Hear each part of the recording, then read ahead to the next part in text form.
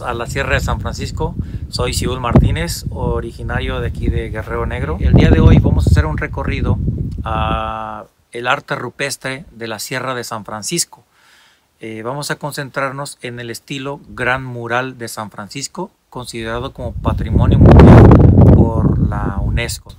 Gente que llevan prácticamente seis generaciones habitando aquí en este lugar y que fueron descendientes directos de, los, de uno de los soldados de cuera que acompañó a los misioneros en el proceso evangelizador de la península. Sus costumbres, su forma de vida, un poco de su gastronomía y sobre todo la calidez de la gente.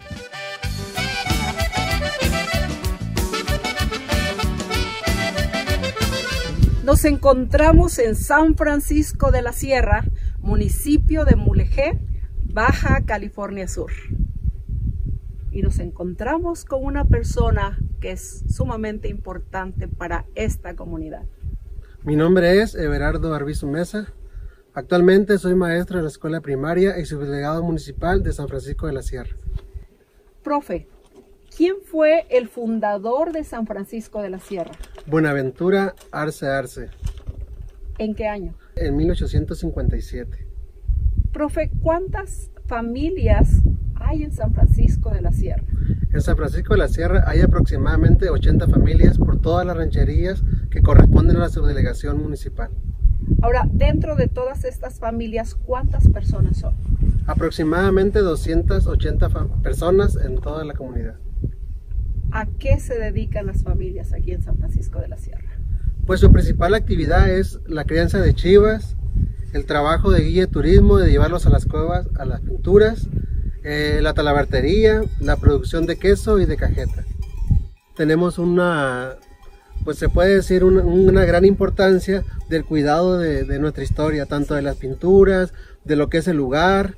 Por otra parte está la Reserva de la Diosfera, que también nos encontramos con muchas plantas aquí, endémicas, importantes, que tenemos que cuidar. ¿Como cuáles son, por ejemplo? tenemos el mezquitito, también encontramos el cirio, mezquite, huizache, eh, choya, choya barbona, eh, biznaga, que es una de las más importantes. Eh, como mencionamos ahorita, es patrimonio de la humanidad y podemos encontrar muchos vestigios de metates, pedernales, en toda esta zona también de pinturas. Entonces es importante que siempre que vaya a visitar tenga que ser con un guía actualizado. Las familias están unidas y sus construcciones son muy, muy juntas debido a que eh, esa importancia de no destruir, de no abrir camino, de no desmontar, nos ha llevado a que la vivienda así se construya en un solo, una sola, sola parte. ¿Sabe usted en qué año fue puestas todas estas cercas? Sí, fue cuando fue declarada Patrimonio de la Humanidad en el año de 1992. Fue cuando ya se, se pusieron lo que es los barandales para cuidado y proteger lo que es la, la pintura. Muy bien. Lo que se refiere a todos los represos se utilizan para animales, para plantas, para lavar, para el uso cotidiano y lo que es para tomar y eso, ese sí se sube de lo que es el ojo de agua y del, del cartucho. O sea, es otro es de otro agua, ojo de agua. ¿Qué quiere decir? Que el agua sí está permanentemente saliendo, ¿no? Sí, así es. Aquí en todos los cañones vamos a encontrar ojo de agua. Sí. Al cañón que baje encuentra agua de, de ojo de agua agradecerle mucho su tiempo y decirles pues a San Francisco de la Sierra qué buen trabajo están haciendo y muchísimas gracias. Gracias a ustedes por visitarnos y por ayudarnos a, a mejorar la imagen. Gracias.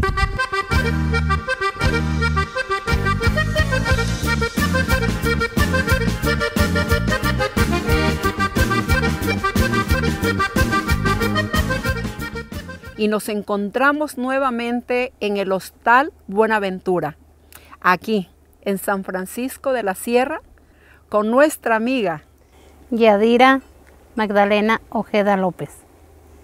¿Qué nos va a presentar el día de hoy, Yadira? El día de hoy le vamos, les voy a presentar el caldo de hueso con frijol y sus verduras. Entonces, ¿qué estamos hablando? Aquí estamos viendo una cantidad de verduras. Para ser exacto, sería el frijol, que es un frijol, le llaman pinto, un frijol pinto, Eh, el hueso que le llaman ustedes es un hueso de carne de res, Ajá. pero ¿qué parte de la res? El chamorro y el hueso blanco que es de la paleta o, Ajá. o del cuarto. Bien, Ajá. ¿qué es lo que tenemos aquí? Es pues chayote, Sí, calabacita, zanahoria, cebolla, repollo, elote, chile verde. Este chile verde, lo que ustedes llaman chile verde, Sí. en realidad en el sur usan otros tipos de chiles, pero este, ¿cómo se llama exactamente? Nosotros aquí chile verde California. California, bien, que le da mucho sabor, me Mucho imagino, sabor. ¿verdad? Y el cilantro verde. Y entonces, eh, dentro de la preparación, usted está hablando que primero sería el frijol Ajá. cuando el agua ya está hirviendo. Ajá. Más o menos una hora después se Sí. le agrega el, la carne, la carne. la carne, el hueso con chamorro o carne de res con chamorro. Este, y después, ¿qué seguiría dentro de todas estas verduras? Después es el chayote. Sí. Se deja que, que ya que le pone el chayote que hierva unos 40 minutos. Sí. Y ya de ahí se le pone ya la zanahoria, el elote. Y ya de ahí ya va todo lo demás. Que tiene más o menos una media hora hirviendo con eso y le pongo todo lo demás. El repollo, la papa, el chile verde, la zanahoria. Sí. Eso nada más, porque el cilantro verde es hasta final, cuando ya lo vaya a bajar. Entonces usted le agrega el cilantro y lo saca del- del fuego, Ajá. por decirlo así. ¿Sí? Y la sal se la agrego y la cabeza de ajo cuando pongo el hueso. ¿De dónde consigue usted las verduras, la carne y todo este producto que tenemos aquí? Pues para nosotros lo más cerca es Vizcaíno. ¿Que está a cuánto tiempo de aquí? Aquí estamos como a una pasadito de una hora. Van en carro y se regresan. Sí, Sí, vamos y nos regresamos. perfecto. Y entonces Yadira, nos esperaríamos a que esté listo el Que platillo. se haya cocido toda la Sí. verdura. Ya cuando esté toda la verdura, se le agrega el cilantro y se baja. Y ahora sí, Está listo para comer. No me importa seguirte 20 años, no me importa tener mil fracasos, aunque sufra humildes engaños, yo me quiero morir en tu brazo. Nos encontramos en San Francisco de la Sierra, Baja California Sur, en esta hermosa cocina donde nuestra amiga Santa Ana hace, hace. Santana Arce Arce. ¿Y qué es lo que nos va a preparar? Tortillas de harina de trigo. Muy bien. Entonces aquí qué tenemos? Harina. Harina de trigo. Harina de ¿Y trigo. esto qué es? Manteca de puerco. Manteca de puerco La y, sal. y aquí qué tenemos? El agua. El agua caliente. Fíjense que esto eh, es algo, eh, es la segunda vez que veo que me van a hacer unas tortillas de harina con agua sumamente caliente. La verdad está muy, muy caliente. No sé cómo lo va a hacer, pero iniciamos, iniciamos a hacer la preparación, ¿le parece, señora Santana? Ok, adelante. Entonces, ¿qué le agrega primero? La sal. Con la mano. Bien.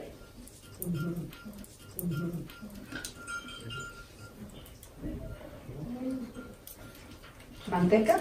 Manteca y luego la tengo que. Ya. Sí, La claro. tengo que aparatar bien. Sí. Para integrar toda la sal y la manteca al mismo tiempo, ¿verdad? Sí.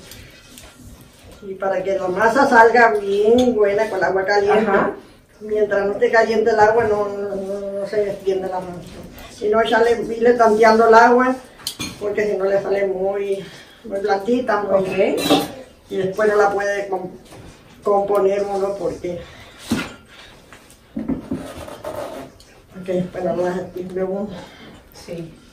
Ya veo una, una textura completamente suave en esta masa. ¿Y ahora qué va a hacer? Saca la bolita. Sacar bolitas. ¿Y qué va a hacer con estas bolitas? Pues las voy a, a untar y las voy a, ir aplastando y las voy a dejar acomodadas y luego las voy a tapar para que se reposen. Va a reposar. Me imagino que su esposo debe estar muy contento, le ha de estar haciendo tortillas de harina todos los días, ¿verdad? Sí, yo no le gusta mucho. Sí, Yo no compro tortillas hechas que vienen, yo no Sí. me las hago. sí. ¿A untarla con qué? Con manteca de puerco. Adelante, adelante. ¿Esto para qué es, Santana? Para que se no quede tan reseca. Perfecto. Y luego las hago así, Ajá. para taparlas con una bolsa Bien. para que se repose. ¿Ya reposó la masa? Quitarle la bolsa a la masa. Perfecto. Porque ya se reposó. Perfecto, perfecto. Han pasado 15 minutos después del reposo. Ajá. ¿Sí? Adelante, pues va a hacer sus tortillas de harina. ¿Usted usa la Ajá, máquina? sí. Adelante.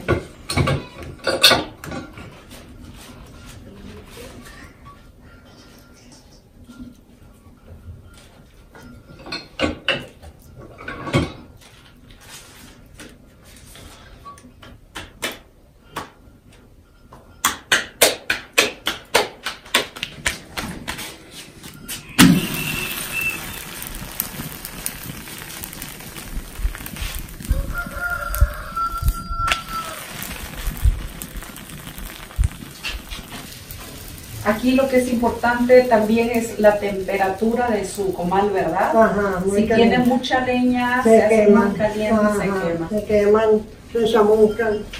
Pues para eso, como ustedes son unas profesionales, son las únicas que saben. A ver, esta maderita, ¿para qué la utilizan? Para aplastarlas. ¿Queda mejor?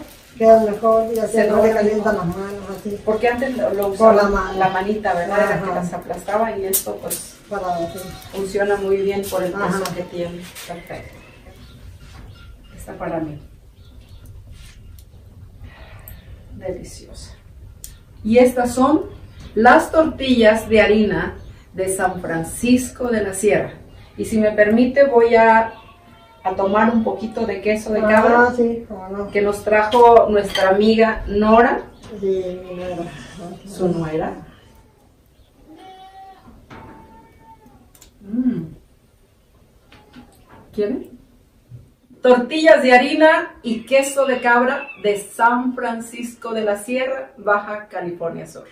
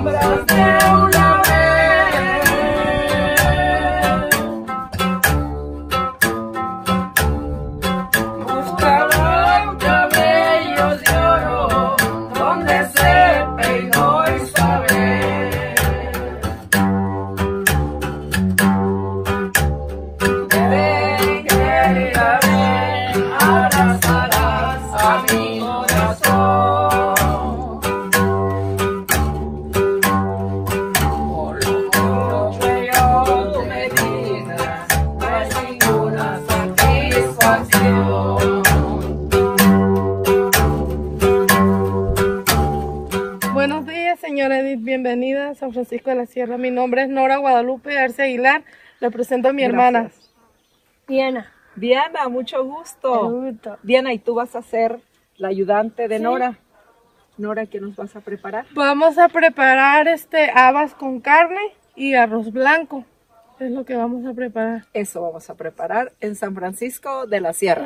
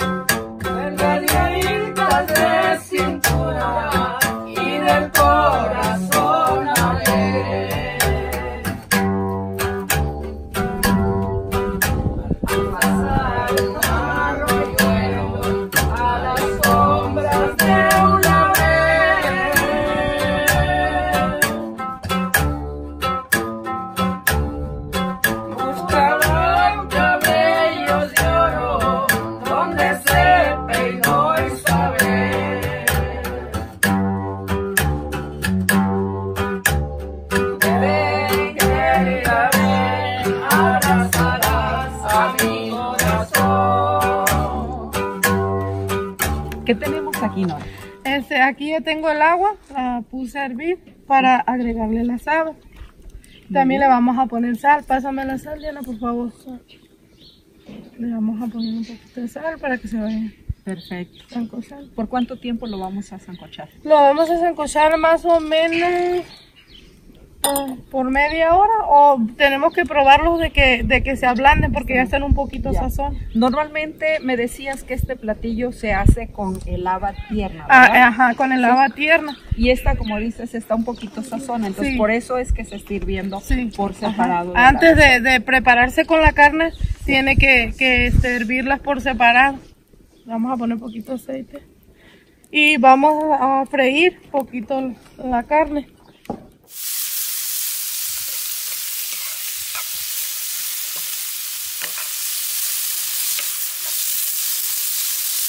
Aquí le vamos a poner este poquito de más agua para que se vaya cociendo al vapor y la vamos a tapar para que hierva Perfecto. un poquito y entonces vamos a dejar este momento más o menos unos 5 6 minutos que empiece a hervir como ya está la carne ya está buena le vamos Sí. a poner las habas Y las habas ya están cocidas. sí las habas ya, ya está, están buenas ya Eso, está, punto. cocido. Está poquito caliente lo vamos a agarrar con él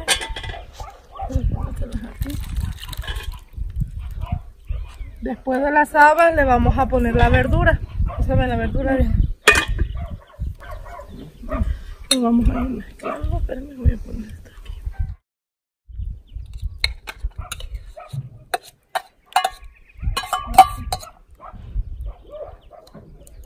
Le vamos a revolver poquito. Para que se agreguen las verduras. Y ahora le vamos a agregar lo que es el chile. El chile Sí, que ya se sí. molió, que El fue chile, chile, ajá. guajillo. Sí. ¿Y qué otro chile- tipo de chile fue? fue mo- este guajillo y chile pasilla y también lleva ajo Ajá. y este y unos pedacitos de cebolla. Perfecto. Ok, y aquí se lo vamos a poner ya.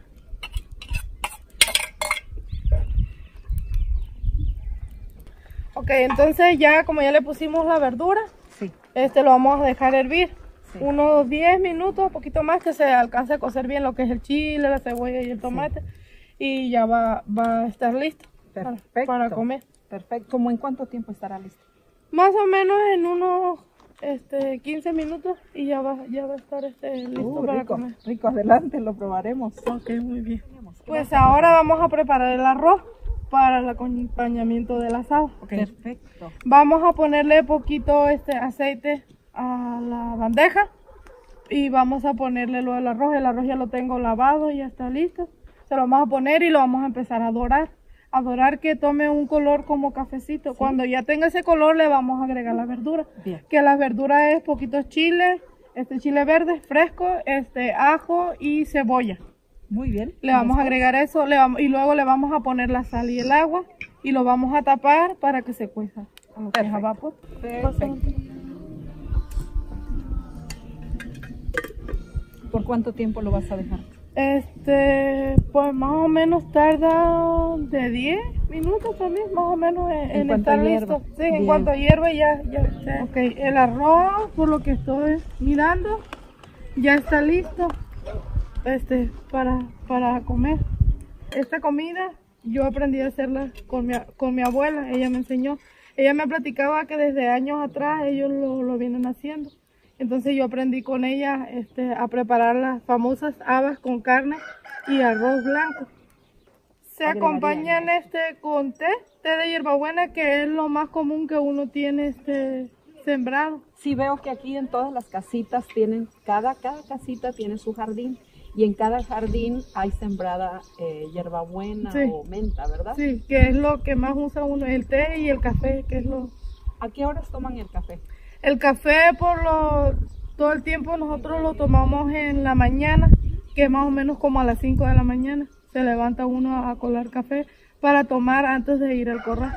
Bien, y después de eso, ¿a qué horas toman el té? El té ya sería en el desayuno Ok. Para acompañar ya sea este ¿Y en la noche qué toman? En la noche también volvemos a tomar té o ya sea café.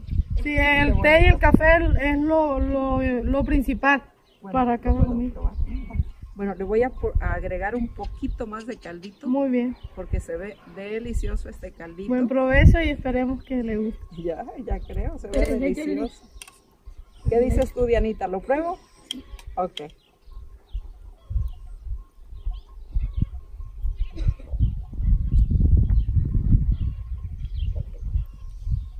Si vieran ustedes qué tan rico es, y aquí entre los humos y la leña, y con estas dos hermosas y bellas mujeres, atentas y amables. Muchísimas gracias, Gracias. Nora. A ustedes muchas gracias. Muchísimas gracias, Diana. Un placer.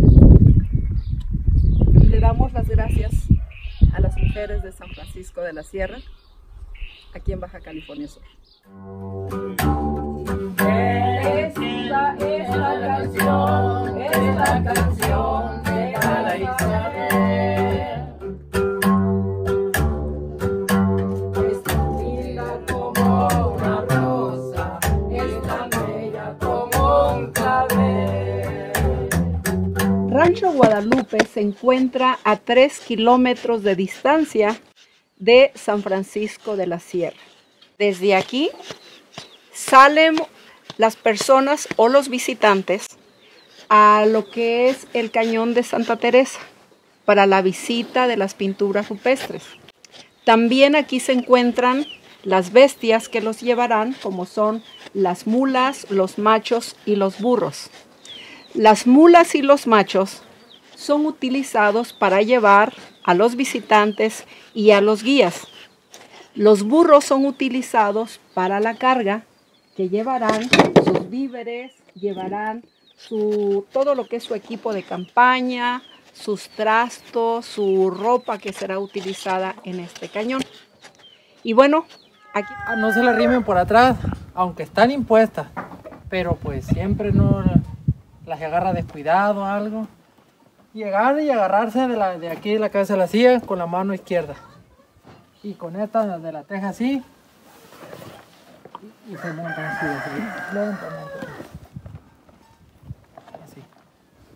Y para pararla, la jalan las dos riendas juntas hacia atrás. Para acá se las así para dar vuelta y a este lado para dar vuelta. También las bestias están impuestas con las dos riendas. Así. Y para apiarse, esto se le llama la guía. La guía va amarrada aquí a este lado. Siempre que se apegan, la, la- sueltan y tiran la guía y ya de que se, bajan y en cualquier ramita que encuentren las amarran ahí. Como ustedes gusten así. Pero prácticamente el nudo para amarrarla es así. El palo ya queda amarrada. Como ustedes gusten. Pero son mansas las se, se quedan ahí también. Decía Pancho Altamirano, mi corazón no me engaña, que yo tenía que morir en los campos de batalla. Llegó Pancho Altamirano con arrogancia y valor, gritando viva Madero y muera vuelta el traidor. Gritaba un soldado raso, tenía su rifle terciado, que toquen ese clarín, que Robert está tomado. Decía Pedro Altamirano, con todo mi general, aquí no quedan diez tiros, esto nos van a salvar. Nos encontramos en la mesa del dátil, específicamente aquí en esta punta. Enfrente vemos el Cerro San Julio, que está ahí. Y nuestro objetivo de este día va a ser ahorita bajar aquí por todo el cañón hasta llegar al rancho Santa Teresa. El día de mañana nos vamos a internar por el cañón hasta llegar a la pintada y las flechas. Hay más de 300 cuevas y 300 vestigios aquí, pero son a lo mejor pequeñas figuras humanas o animales, lo que hay. Pero en el conjunto del estilo Gran Mural, yo creo que el plato fuerte se lo lleva la pintada. Nos va a tomar aproximadamente al ritmo que llevamos eh, unas tres horas el descenso, ah, despacio, seguro. eh, y vamos a recorrer cuando mucho, yo creo que unos 7 kilómetros y medio, ¿no? no es grande, pero por el camino que está un poco sinuoso, va a haber puntos donde vamos a tener que descender de las bestias y hay otros en los que vamos a confiar absolutamente en ellas, ¿no? Lucho, ¿cuál es la diferencia entre una mula y un macho? Bueno, la diferencia de, de las bestias es que un macho trabaja bien todo el tiempo. Y una mula puede mane- pues la hace por los celos que ella produce, trabaja enojada, haciendo berrinches y pues trabaja más mal que, que el macho. El macho todo el tiempo trabaja bien. Por ejemplo, si, si, si fuera un caballo y una burra, ¿qué saldría? Pues saldría, puede salir macho o mula. Lucho, ¿a qué se le llama una burrera? Bueno, una burrera se le llama porque nace de una burra y de un caballo. Y siempre tiende a tenderse a juntarse con puros burros. ¿Y a qué se le llama de yegua? Bueno, a las bestias de yegua se le llaman porque nacen de una yegua y de un burro. Y todo el tiempo andan con yeguas y caballos. Por eso se le llaman de yegua. ¿Creen que son de la descendencia Sí, de las yeguas? Sí, de Pero las son, yeguas. puede ser mula o... o macho, O macho. pueden hacer ahí, es lo que nazca ahí de la naturaleza. Qué bonito. Esto es un poema. Aquí tenemos el ojotón. Aquí en la Sierra de San Francisco. Es muy bueno para la mordidura de víboras. Nosotros aquí incluso hemos salvado chivas que le han mordido. La, con, la hemos salvado poniendo a hervir la agua. Ya cuando la agua se enfría se le da al animal y se la toma porque eh, la mordidura de víbora acarrea mucha sequía y hace que el animal se controle bebiendo el agua de la semilla. Y a personas también le ha servido, incluso una señora que le mordió una serpiente le dimos de esta agua y se controló y pudo llegar a manos de médicos. ¿Qué tipo de serpiente fue la que lo mordió? ¿Se sabe? Pues aquí la, una serpiente, la, nosotros le llamamos víbora sorda. Es, es cortita, de pescuezo delgado. Y esa fue la que encontraron donde le mordió la señora. ¿Es venenosa? Muy venenosa.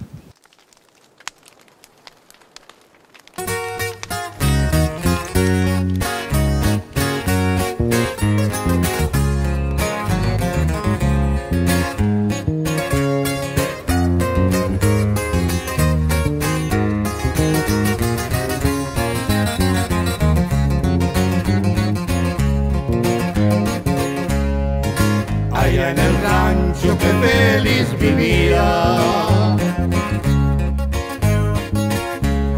En esa casita donde crecí yo.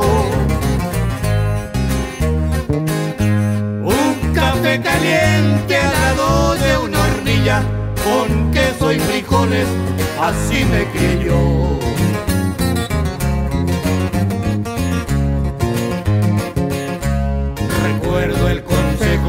De mi pobre viejo.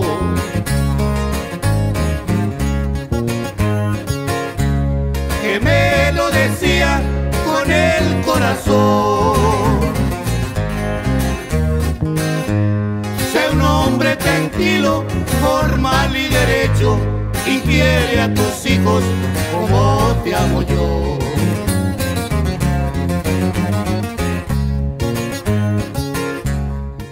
Dicen que cuando nació la- el Jesucristo, estaba la Virgen, pues no tenía cómo taparle, tenía mucho frío. Y todo el animal, la borrega, la le, da- le pasaba y le echaba aliento. Todo el animal. Y pasó la mula.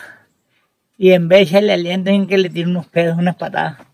Y que le dijo a la Virgen, mira, no tengo más gusto, que nunca vas a tener hijos. dicen que por eso no tiene hijos la mula. Eh, esa fue la única que no le quiso echar el aliento a, a Jesucristo. Cuando estaba niño, pues tenía mucho frío. Y los otros animales sí. Y dicen que por eso fue que nunca, que le dijo que nunca iba a tener hijo. Iba a saber el amor de hijo. Eh, y está, está curioso, pues, porque verá, todos, todos los animales tienen, saben parir, pues, y solamente la mula, ¿no? Eh, Soy Esmeralda Quiñones Arce, soy de San Francisco de la Sierra. Eh, soy la encargada de preparar los alimentos en este viaje eh, que venimos haciendo hacia las pinturas rupestres. Eh, esta vez vamos a preparar un atole de masa de maíz. Este atole se ha, ha sido una tradición aquí en las, en las familias de aquí de San Francisco de la Sierra. Yo lo aprendí de mis padres, mis padres de mis abuelos, mis abuelos de, mi, de mis bisabuelos y así ha sido una tradición a lo largo de, de bastantes años. Eh, y pues vamos a comenzar con el atole. El atole se prepara con, empe- empezamos a poner un litro de, de leche en un sartén a hervir. Ya que empieza a hervir tengo que tener lista la, la mezcla, que es un poco de maseca con un poco de, azúcar y agua. Ya que empieza a hervir la leche le agregamos de esta manera la mezcla. Empezamos a batir para que no se nos haga bola el atol. El atol se tiene que retirar del fuego ya que empieza a hervir y ya va a estar espesito. Va a estar listo para comer. aprovechando el último periodo interglacial en donde no había tanto, tanta agua y que probablemente había un puente de conexión aquí en el estrecho de Bering, el hombre llegó al continente americano de tal forma que hace 11.000 años ya había conquistado el cono sur de nuestro continente. Sin embargo, otra porción de humanos viajó y se asentó en lo que sería el sur de California, Arizona, Nuevo México, y esos hombres llegaron y se metieron a la península de Baja California. Recordemos que en esas épocas el ecosistema era diferente. Para darnos una idea, el mezquite apareció sobre la faz de la Tierra aproximadamente hace 7000 años. Los climas desérticos que tenemos ahora no eran los que existían hace 10.000 años. Entonces, en su proceso histórico, el hombre venía persiguiendo sus presas, venía buscando los hábitats, el agua, la alimentación. Ellos eran únicamente nómadas, cazadores, recolectores. No había cerámica, no había agricultura, no había un lenguaje escrito. Sí tenían una comunicación y una tradición oral. La parte triste es que sin saberlo, los humanos que entraron a la península de Baja California, tristemente estaban condenados a la extinción. Ellos eran considerados las tribus yumanas, que a la postre se convertirían hace 800 años en los Kumiais, paipais, quiliguas, en el centro y los más dominantes, los más fuertes, los más prósperos por la abundancia de alimento, porque seguían siendo cazadores recolectores, los cochimíes. Después, guaycuras y pericúes más al sur. Cuando los misioneros llegaron en el proceso evangelizador de la península, eh, ellos, por supuesto, encontraron también estas cuevas, estas, estos vestigios de arte rupestre, y les preguntaron pues a los nativos, ¿no? Y sobre todo a los cochimíes con el proceso misional de Santa Gertrudis y San Borja, hey, esos murales, ¿quiénes los hicieron? ¿Cómo, cómo estuvo? Los cochimíes, los únicos que atinaron a decir fue, no sabemos. Cuando nosotros aparecimos, esas pinturas ya estaban. Pero la tradición oral lo que nos dice es que las pintaron gente que vino del norte. Cochimí significa descendiente de la gente que vino del norte. Algunos autores definen como las etapas del arte tres. La primera es expresión, que es donde el ser humano en este caso plasma lo que desea, lo que quiere, o tal vez la, la visión de su mundo, ¿no? O su forma de vida, o representa lo que él es. La segunda fase es la impresión, es decir, cuando el artista domina la técnica de tal forma que si él quisiera pintar un caballo, lo pintaría con tal detalle que parecería que está, que está vivo, que, el brillo de sus ojos, los pelos de las pestañas, eh, un venado, las astas, eh, todo lo que él realmente quiere exponer, lo representa de manera vívida. Y la tercera fase es la interpretación, el significado o lo que el artista, el sentimiento que el artista desea transmitir. La sociedad de humanos que existía en ese entonces estaba bien organizada, porque si eran cazadores recolectores, y que la historia que tenemos o las observaciones que hicieron los, los, misioneros jesuitas era que los indígenas cochimíes pasaban alrededor de 16 horas buscando su alimento. Imagínense todo el trabajo que implica ser un cazador recolector eh, que se mueve al ritmo de las estaciones. ¿no? Quiere decir que para toda la comunidad el arte rupestre era importante y que aparte tenían una, una, estructura organizacional bien definida, porque el artista o los que estaban a cargo de las pinturas rupestres, pues tenían que estar pintando todo el día, y ellos no cazaban, no recolectaban, y tenían que ser alimentados por el resto de la comunidad.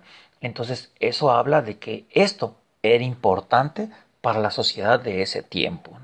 Los animales están representados, a diferencia de los humanos, que normalmente muestran una posición estática, los animales están en una posición dinámica. ¿Qué quiere decir con esto? Que los podemos ver ya sea corriendo, caminando, saltando, volando, peleando entre sí, pero vemos como que esa sensación de movimiento.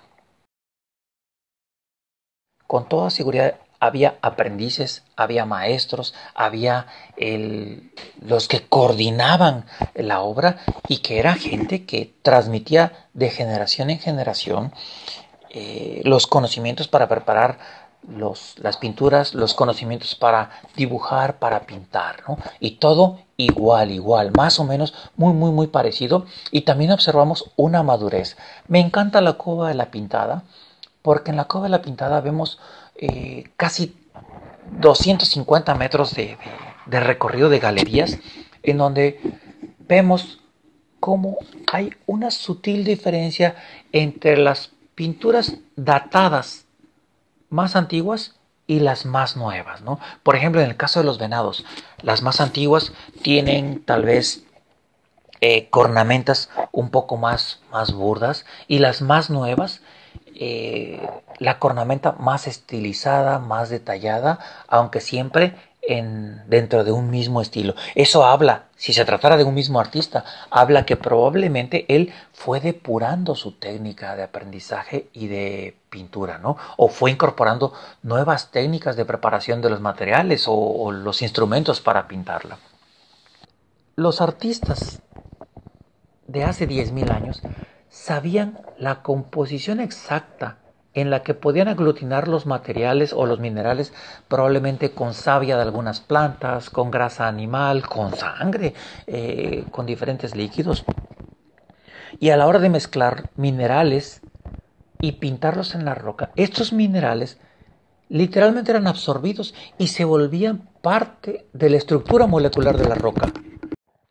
A lo largo de los últimos 14 años que visito una cueva de manera recurrente, por ejemplo, eh, que es la cueva de la concha, veo cómo los colores se van desvaneciendo, cómo la gente a veces quiere hacer o hay una, una experiencia de campismo y probablemente sin saber se les hace bonito dormir ahí, hacer una fogata a la entrada de la cueva este, tal vez remembrando eh, cómo le vivían los antiguos humanos, pero estamos destruyendo esos sitios, ¿no? Entonces creo que el desconocimiento del arte rupestre es lo que las puede condenar a, a la extinción, así como a los hombres que de manera involuntaria, siguiendo sus presas hace 10.000 años, vinieron a asentarse en la península de Baja California. Don Jesús. Buenas, buenas tardes. ¿Cómo está usted? Muy bien, ¿usted? Bien, gracias, Edith Jiménez. Ok, José Jesús Zúñigarse. Mucho gusto. Aquí la estaba esperando. Perfecto, pues nos vamos a echar una platicadita en relación a las pinturas rupestres. Ok. Pues yo cuido la zona, por ejemplo, hay cuevas que se han metido y cuando, pues yo tengo que ir allí. Si miro daño, reporto a Lina y cuando van a hacer una afirmación, tengo que estar ahí yo al pendiente, al cuidado de todo. Sí. Porque hay cuevas que no tienen andadores y hay puesto hay cuevas que se encuentran flechas y hay gente que se la gusta, se las lleva y hay gente que no. Y es el, el, el cuidado que tenemos nosotros. Por ejemplo, aquí hice una excavación. Sí. Y se encontró una flecha en un palito amarrado, ¿sí? Y tenía pintura. Y de allí se hizo un estudio, se lo llevaron a Canadá y allá sacaron que las pinturas tenían 10.800 años. Y pues nosotros pensamos, pues se le hizo mucho estudio. Sí. Pero nosotros no sabemos si es la verdad o qué, pues. Sí, también lo han preguntado de, si cómo pintaban tan alto. Sí. Y pues muchos dicen que la cueva tenía más tierra, que estaba más, más pegado para la pintura, pero nosotros no creemos porque, por ejemplo, si hubiera estado así, ahí iba a estar enterrado, pues como pintaron ahí. Sí, claro. Sí, sí tiene razón. Aquí nosotros pensamos que, dicen pues que con andamio de las palmas, y, y otros dicen que se subían uno al otro, y otras personas dicen que, que usaban, aquí hay quiote de maguey, que lo, lo, amarraban y que en la punta así le ponían colita de venado, esa era su, la, la brochita, pues, y que con eso pintaban. Sí, pues se hacían y, creativos. Sí, nosotros estuvimos aquí, yo estuve casi un mes aquí con una americana que estaban haciendo estudios. ¿Y qué le dicen y, ellas? Y me mandaron a buscar quiote y les traje tres quiotes. Y lo, lo anustaron, lo amarraron con cojollo de, de palma. Y, y, me dijeron, a ver, intenta si se puede. Y sí. ¿Sí, ¿Sí se puede? Sí se puede. Y me dijeron que como que estuviera dibujando. Sí. Y sí, sí se puede. Porque nosotros allá cerca de Guadalupe, sí. hallamos una cueva que encontramos muchas cosas sí. de indio. Muy bien. Y hallamos la panza de los venados. Sí. La hallamos cosida. Era, la hacían como una olla. Sí. Y el hilo que usaban era el maguey. ¿En dónde dice que la Ahí encontraron? cerca de Guadalupe hay una cueva que la habitaron mucho. Wow. Y la, y la aguja que usaban era la de biznaga. De Lo que es la- largo. Ya. Y, y el hilo La era espina. la espina. La espina. Era la aguja de ellos. ¿Qué se necesita hacer para llegar aquí? Pues se tienen que meter a la, a la página de Lina. Y de ahí ya se dan cuenta. Y ahí ya, pues ahí hay, hay un número de teléfono. Y le hablan a la Yadira. Entonces la Yadira les dice lo que necesitan, el precio del guía, el precio de la mula y el burro, es lo mismo. El que deben de traer para comer, que si tienen que traer tienda de campaña, estufa, y que le tienen que dar comida al guía, que le tienen que pagar la mula al guía. Todo eso se le explica para que después no lleguen y muchas veces se niegan a pagarle al guía, pues, la Ah, caray. mula. No, pues sí. Sí, entonces ya diciéndole allá con tiempo ya no, ya saben a lo que vienen, pues. Sí, claro, Ajá. claro, claro. Y es lo que ahí se le explica ya, pues ya entonces ya hacen la reservación y ya se vienen. Sí. Ajá. ¿De dónde sacaban los colores? Pues a mí me han dicho que la sacaban del cardón, de la pitaya, el palo blanco, el torote, Sí. el omboy, el carbón, y que usaban el aceite de, de caguama, que hacían una mezcla y que de ahí hacían la pintura, pero Sí. no sé, es lo que también se ha, con estudios que han hecho aquí, pues, se- Pues aquí eran todos unos artistas. Sí, artistas todos, sí. También, como digo, este, pues tiene como mucho sentido el que haya aquí unas cuevas, Ajá. pinturas, el agua, El agua. comida. Ajá. Pues el entorno Todo estaba perfecto aquí, para eh, vivir aquí, para vivir ¿verdad? aquí, sí, sí. Ajá. así es. Así Muy bien. Ajá. Pues, don Jesús, Ajá. le doy las gracias Pues igualmente. por habernos atendido. Ajá, igualmente a usted también. Gracias, qué Ándale, amable. ¿eh? Muchas gracias. Y a esto, que está considerado dentro de las cinco manifestaciones de arte rupestre del mundo, también como una de las más importantes que en 1993 ascendió a Patrimonio Mundial de la Humanidad decretado por la UNESCO.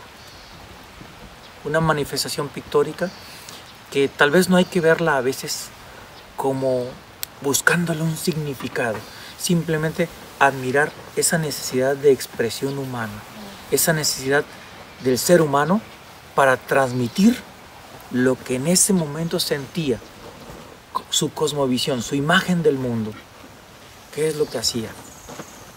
Y eso, 10.000 años después, es lo que venimos a observar.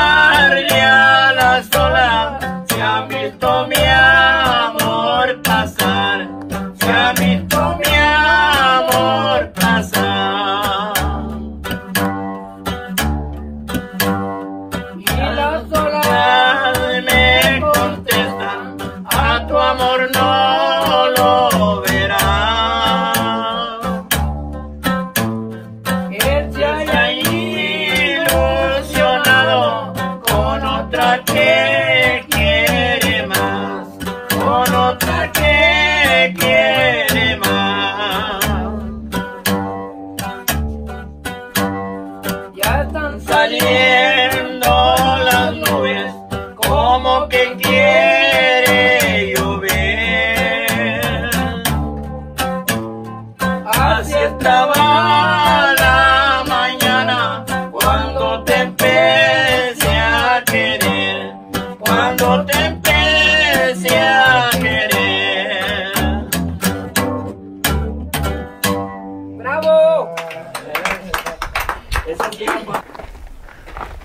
Mira las pitayas rojas. ¿Dónde? Aquí. ¡Wow! Te corto una. Me encantaría probar una. ¿Necesitas ayuda? No se vaya a venir con todo y pitaya. Oh, wow. mira.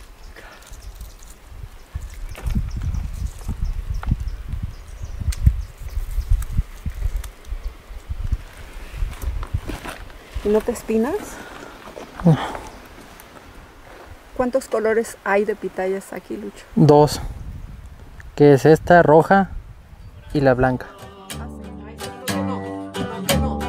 Tenía que caer pistolita, tenías que colocar. Cuando mis ojos de verte,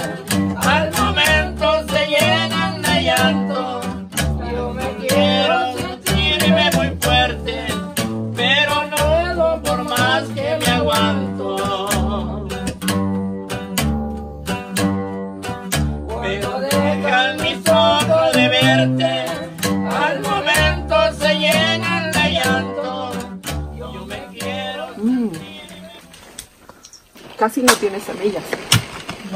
No. Está deliciosa. Como que las pitayas se maduraron después de la lluvia. ¿Sí? La lluvia es muy buena para que maduren las pitayas y crecen y más gordas. Y fíjate que pensé eh, o tenía la idea de que la pitaya cuando llovía se caía. No, Y es todo lo contrario. es todo lo contrario. Mira. Cuando llueve, eh, luego maduran y Se se, ponen más gordas. Mm. Las mañanitas son muy buenas porque están fresquecitas con lo fresco de la mañana. Como ahorita. Sí. Gracias, Lucho.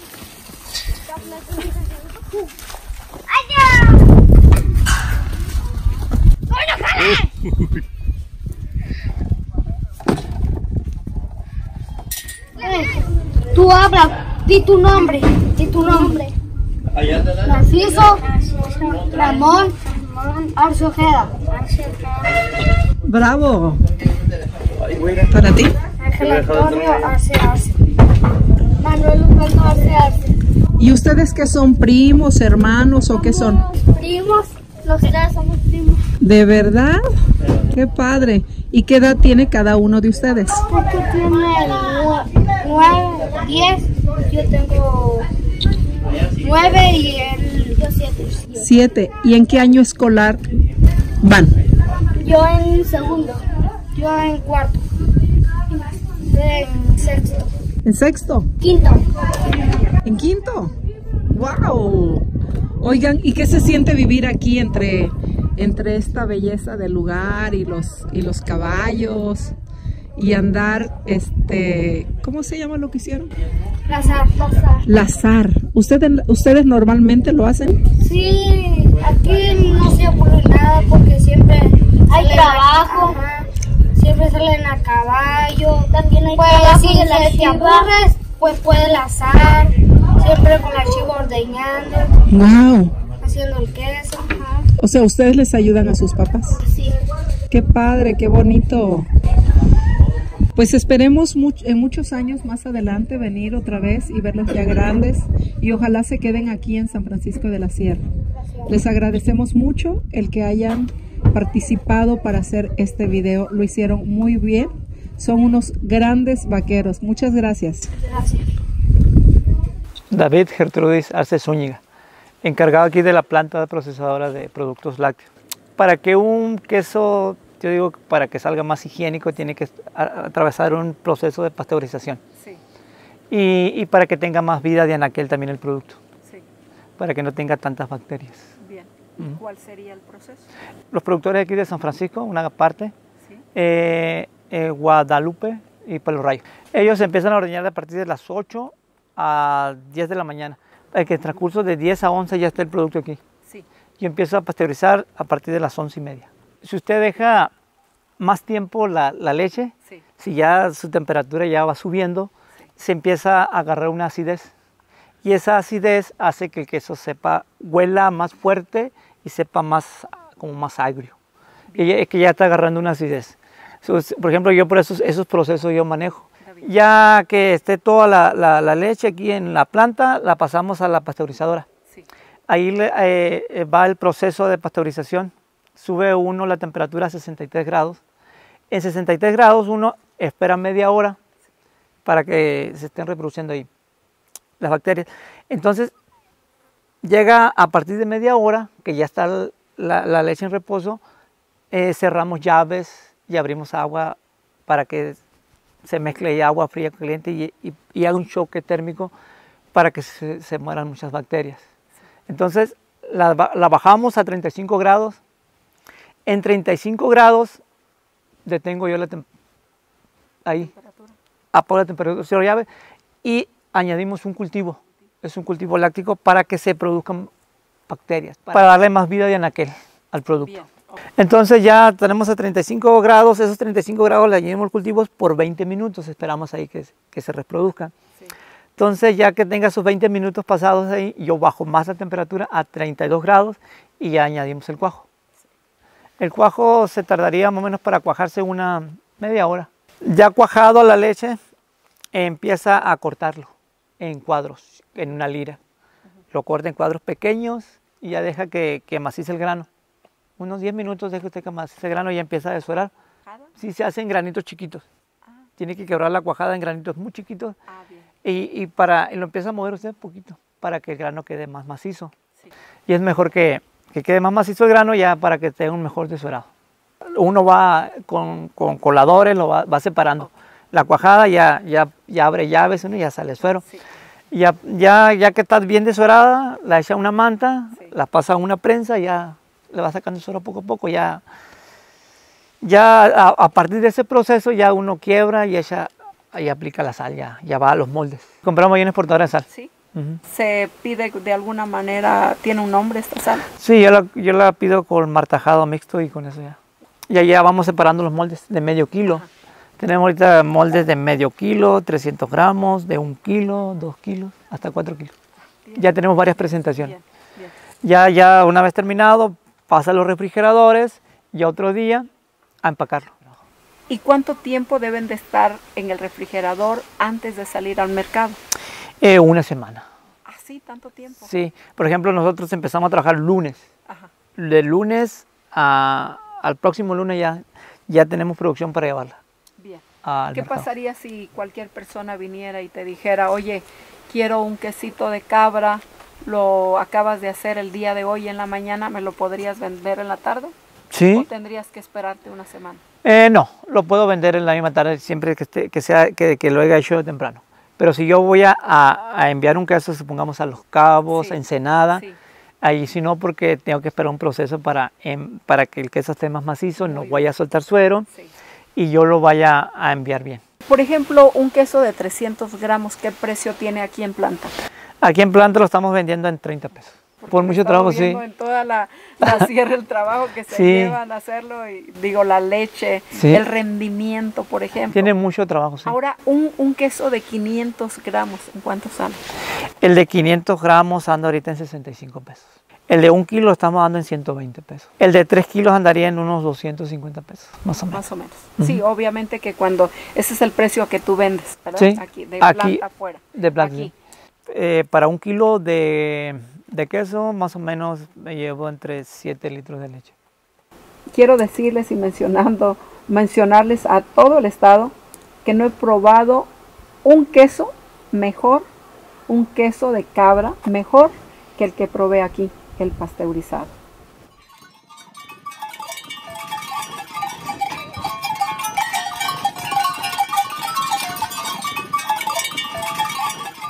¿Nos podrías hablar del proceso de la cajeta?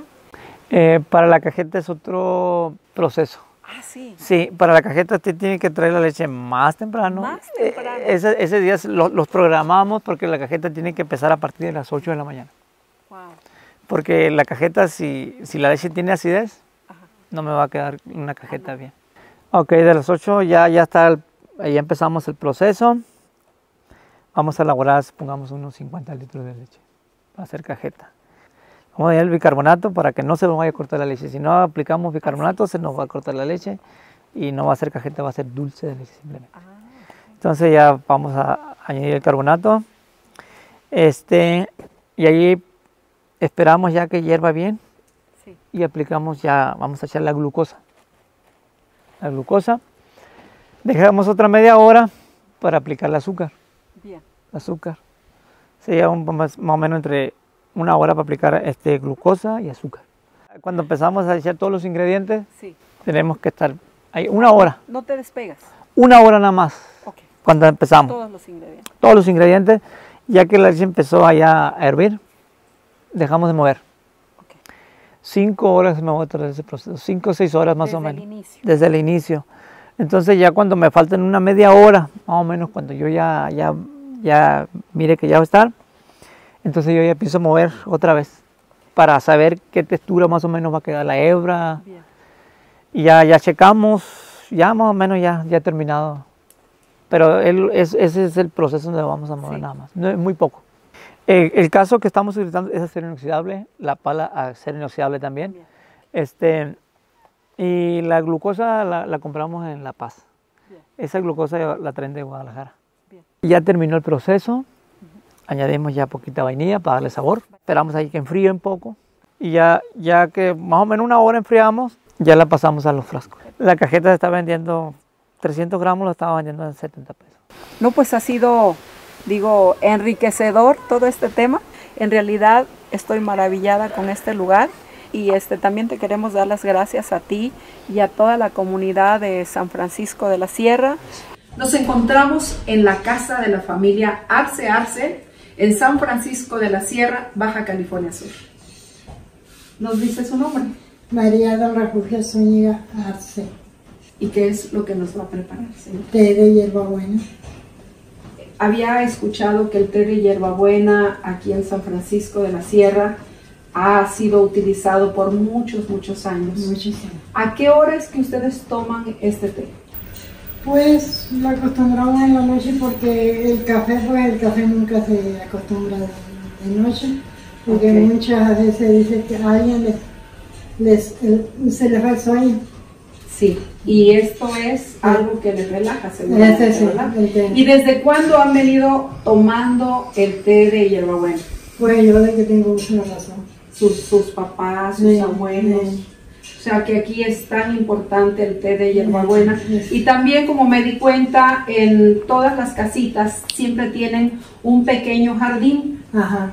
¿Y ahí qué siembran en este jardín? Pues, pues tenemos plantas de flores y, y la hierbabuena, por supuesto. También, siempre. Siempre. Casi siempre. Siempre. Pues mire, eso es una muy buena noticia. El saber que en este lugar, en esta comunidad como el, ran- el- el rancho, ¿no? Y San Francisco de la Sierra, bueno, nos encontramos con algo nuevo para todos ustedes. Muy buenas tardes, mire, pues nosotros somos la familia Arce, vivimos aquí en Rancho San Francisco, nos dedicamos aquí al- a la ganadería, también llevar a los turistas allá al cañón de Santa Teresa, como se da cuenta, esto es nuestros corrales, aquí también compramos un poquito de ganado, lo vendemos, es la forma de subsistir, de vivir, mantener a nuestra familia, como se da cuenta también tenemos caballos, bestias, Ahorita estamos saliendo ya a la sierra a traer otros caballos para una campeada de mañana. Y pues aquí vivimos muy feliz, muy a gusto, muy natural la vida. No hay maldad, gracias a Dios todavía. Aquí estamos, pues aquí mi familia, eh, mi esposa, mi hijo, mi niña Jesús. Y él se llama Manuel Osvaldo como yo. Mi esposa se llama Alma Isela Arce Arce.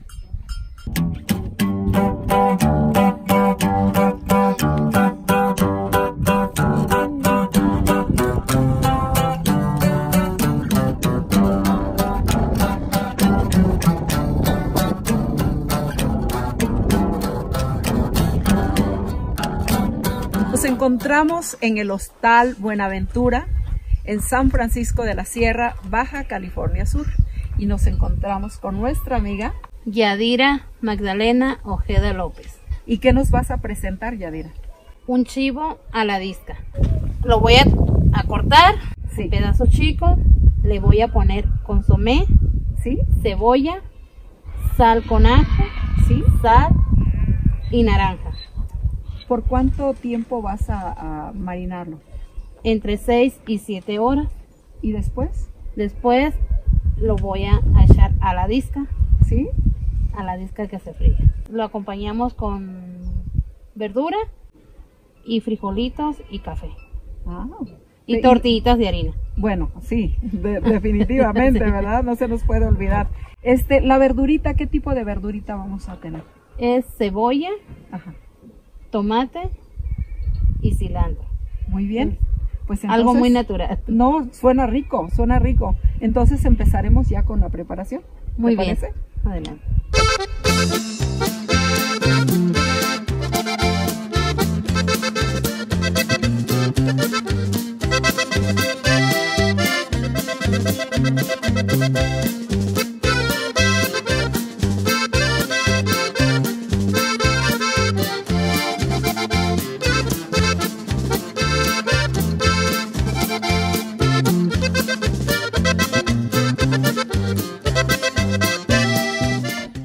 Esperar a que repose entre 6 y 7 horas el chivito de San Francisco de la Sierra.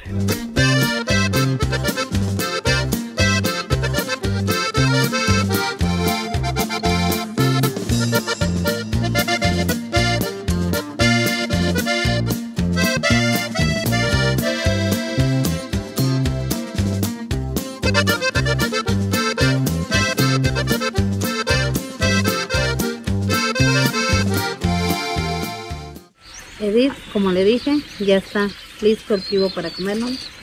Chivo con verdurita, frijoles, salsita, tortillas de harina y el cafecito.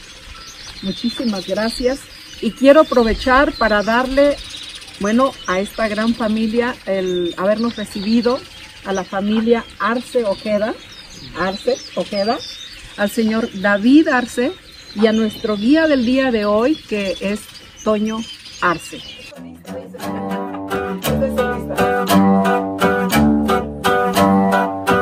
Aunque dicen que ya no me quieres, yo te sigo adorando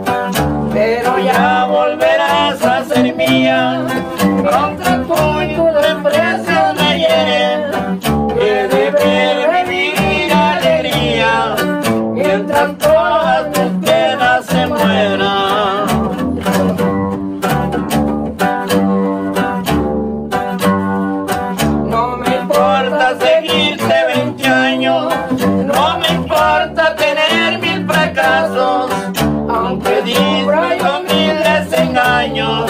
yo me quiero morir en tu brazo.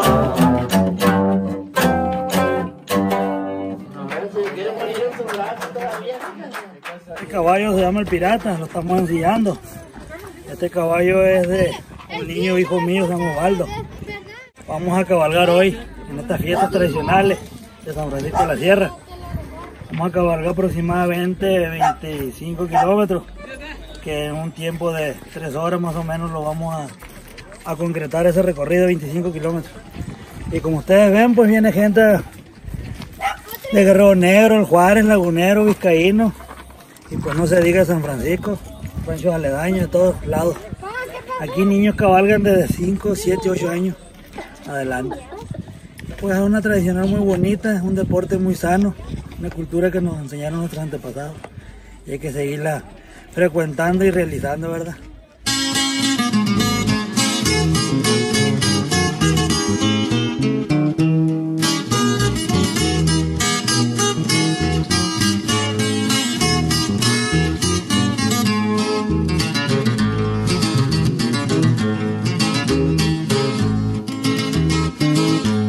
Caballo de patas blancas con herraduras de acero.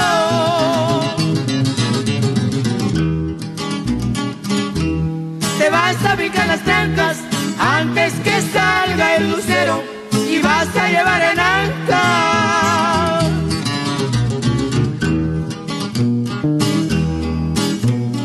A la mujer que yo quiero, a la mujer que yo quiero.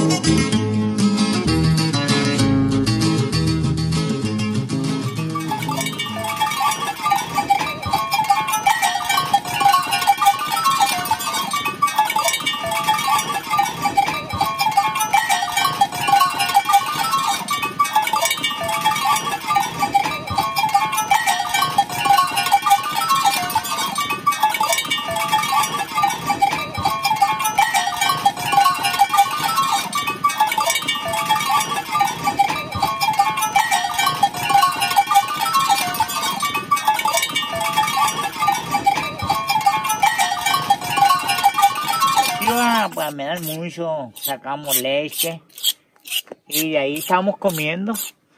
Con ese mismo dinero compramos comida. Yo vendo la leche ahí en la quesera y pues con eso, con eso la estamos pasando nosotros. Con el puro que lo que lo que dan las chivas. Las chivas lo están manteniendo pues. Bueno, este cuchillito ya está listo entonces. Para degollar la chiva. Este, este se usa para degollar porque está muy puntiagudo. Ahí quedó. Ahí quedó el cuchillito. Esta chivita, esta chivita está medio maldita. Para pa degollarla. Ya que, ya que la degollamos la vamos a colgar para quitarle el cuero y luego la carne. ¡Fuera, fuera! ¡Fuera! ¡Fuera, fuera, fuera, fuera! fuera. Quítale, mira.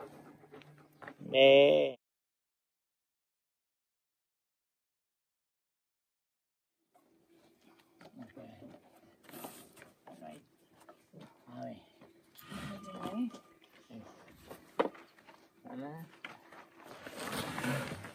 Ahora parejo. Primero, primero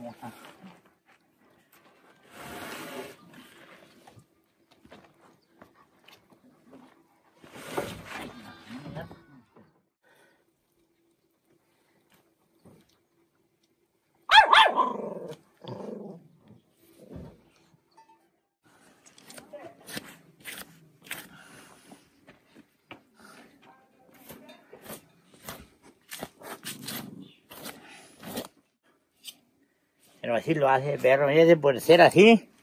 Un día trajo una bestia yo. Se, nomás vio que venía y se le fue encima. Y una que las que estaba le soltó una patada y le se la pegó por el quejín.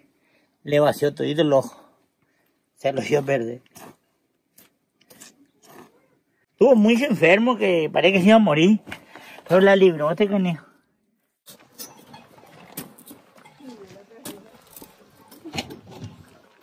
Y ya le quité lo dentro, que sería el hígado y los riñones y el corazón. Pues ya estuvo, no más falta quitarle la- las piezas.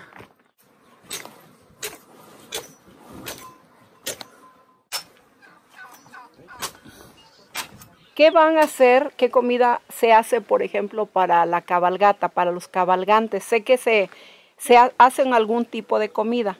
Sí. ¿Cuál sería la comida? También, yo también preparé una vez una, una birria así, una Era para la cabalgata. Y eso es lo que comen los cabalgantes. Eso es lo que comen los cabalgantes cuando ya Entonces, llegan. ese, ¿en qué fecha se da las cabalgatas aquí en en El esta 4, el 4 de octubre. 4 de octubre, Sí. que es el Día del Santo. El día del santo de aquí de San Francisco. Así se llama, el Sí. Santo de San Francisco. San Francisco de Asís. Perfecto. Y entonces, ¿ahí cómo iría acompañada la birria? ¿Igual con frijoles o le agregan una cosa más? Pues algunos también preparan sopa fría. Nuevamente en Rancho Guadalupe, aquí cerquita de San Francisco de la Sierra, con nuestra amiga María Águeda Arce Arce. ¿Y qué es lo que nos va a preparar? Voy a preparar sopa fría para acompañarla con la birria. ¿Y cuáles serían los ingredientes?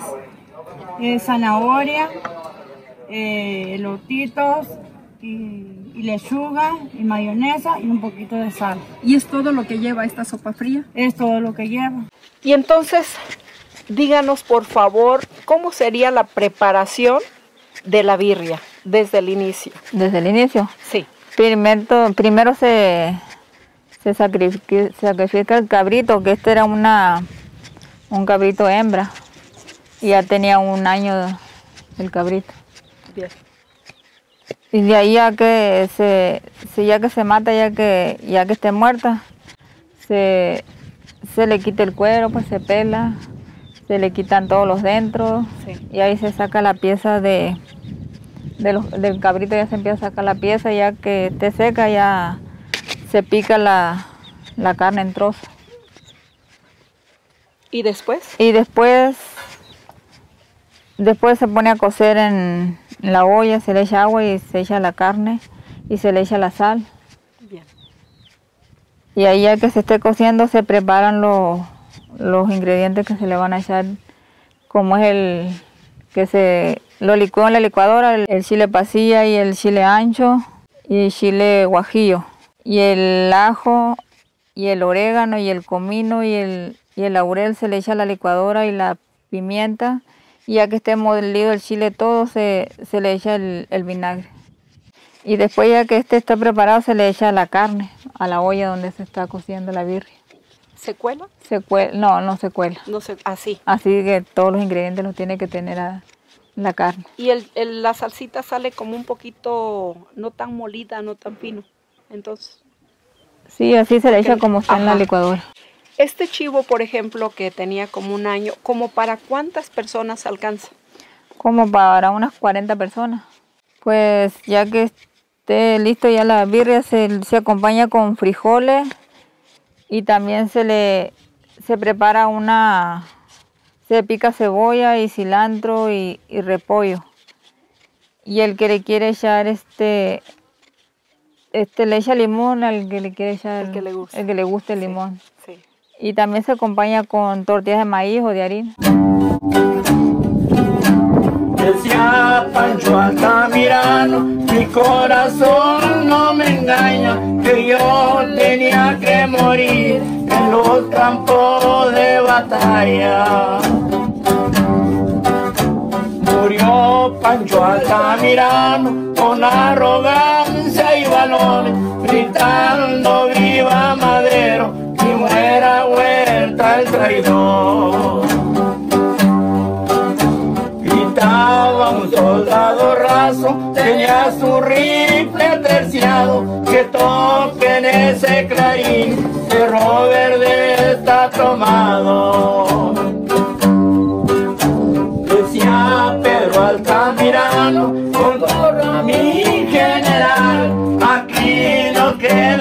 esto nos van a salvar. Adiós, general Hernández, compatriota mexicano, gritando viva Madero y muera Huerta el traidor. Que vivan los maderistas de 1910, que vivan los maderistas hasta morir o vencer. Ya con esta y me despido, viva la revolución, viva el sufragio